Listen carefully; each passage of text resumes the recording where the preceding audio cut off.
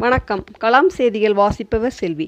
மயிலாடுதுறை மாவட்டம் தரங்கம்பாடி தாலுகா பெரம்பூரைச் சேர்ந்தவர் பாரதி மோகன். மிகவும் ஏழ்மையான குடும்பத்தில் பிறந்திருந்தாலும் சிறு வயதிலிருந்தே மற்றவர்களுக்கு உதவும் எண்ணம் கொண்டவர். பெரம்பூர் பாரதி மோகன் கடந்த எட்டு ஆண்டுகளுக்கும் மேலாக வறுமையிலும் தன்னை முழுமையாக சமூக சேவையில் ஈடுபடுத்தி கொண்டார். பல சமூக சேவைகளை சிலர் உதவியுடன் வாழ்நாள் முழுவதும் செய்து வரும் பெரம்பூர் பாரதி மோகன் சமூக சேவையை பாராட்டி நூற்றம்பதுக்கும் மேற்பட்ட விருதுகள் சான்றுகள் கிடைத்துள்ளது.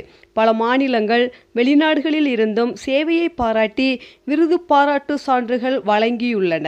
இந்நிலையில் தற்போது இவரது சமூக சேவை வாழ்க்கையை முழுவதையும் சேவைக்காக அர்ப்பணித்த பெரம்பூர் பாரதி மோகனுக்கு ஐநா மனித உரிமை அமைப்பு தங்கள் அமைப்பின் இந்திய பிரதிநிதியாக சமூக சேவகர் பாரதி மோகன் என்று பாராட்டுச் சான்றும் மனித உரிமையின் உறுப்பினர் சான்றும் வழங்கி கௌரவித்து அங்கீகாரமும் வழங்கியுள்ளது. இதனை பெரம்பூர் ஊராட்சி சார்பில் பெரம்பூர் ஊராட்சி மன்ற தலைவர் மற்றும் சமூக ஆர்வலர்கள் பெருமையுடன் பாராட்டுகின்றனர். கலாம் செய்திக்காக தரங்கம்பாடி பாலமுருகன்.